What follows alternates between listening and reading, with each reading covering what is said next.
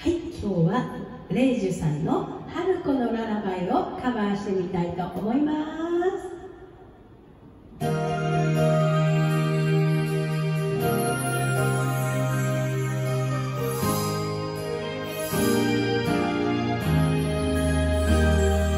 さらば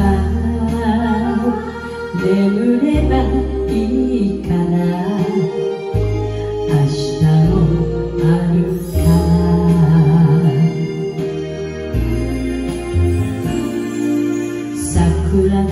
までたどり着きゃ桜切られて言うほどよくあることだよ。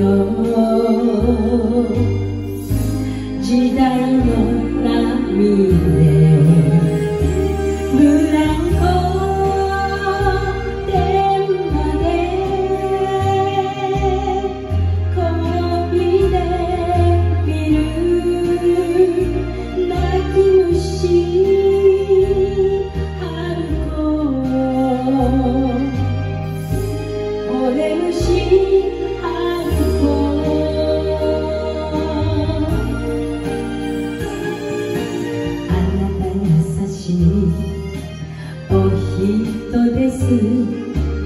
澄んだその目があたたかいまとわりつかない。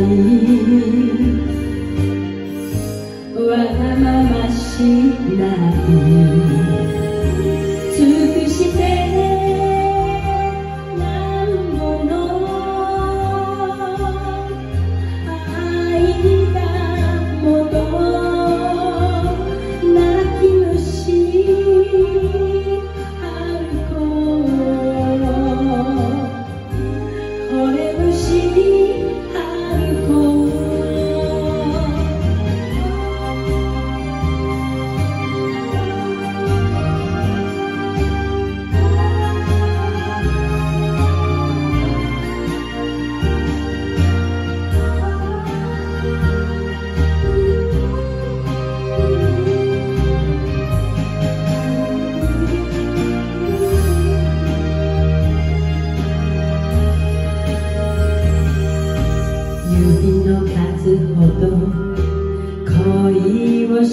なぜか幸せ通り抜け丸く